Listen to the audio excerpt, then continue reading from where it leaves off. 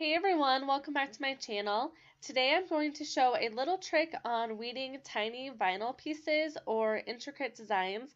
And you can see here these letters are very tiny and it is going on a spice jar so it's only 1.25 inches wide and it makes it very difficult because the letters will sometimes get picked up as you are weeding out the excess vinyl and you can lose the letters. So I'm going to show you how to reverse weed. I cut out a piece of transfer paper and I am using the Duck brand clear contact paper and I take off the clear paper from the backing.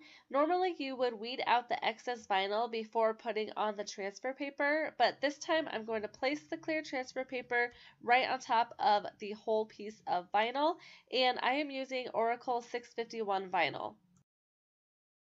I'm going to take the transfer paper and vinyl off of the vinyl backing and you can see a letter is trying to come up so you can just set it back down and use your squeegee tool and just press over it really hard again and then just try it again.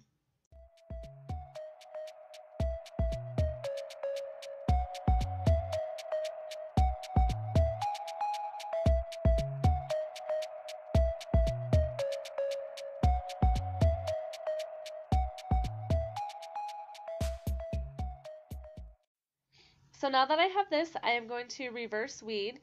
And sorry, my head is a little in the way at the beginning here, but I am going to take the excess vinyl off of the transfer paper and leave the letters on the transfer paper.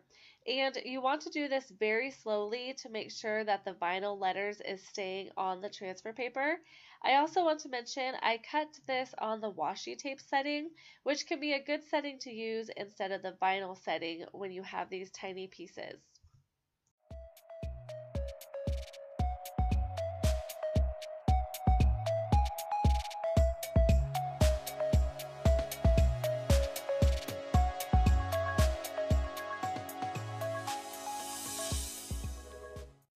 Here I have the outside removed and I need to take out the centers of the letters.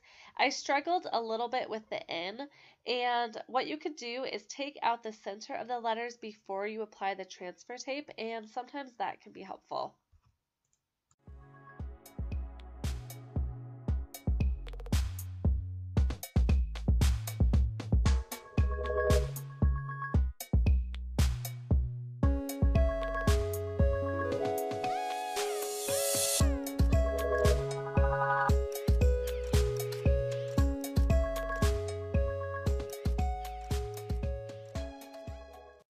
Here, all of the vinyl pieces is on my transfer tape and I can apply it to my spice jar. I hope this video was helpful. Give it a thumbs up if it was. Subscribe if you are new to my channel. It is completely free and if you hit that notification bell, you won't miss any of my videos. And have a great day.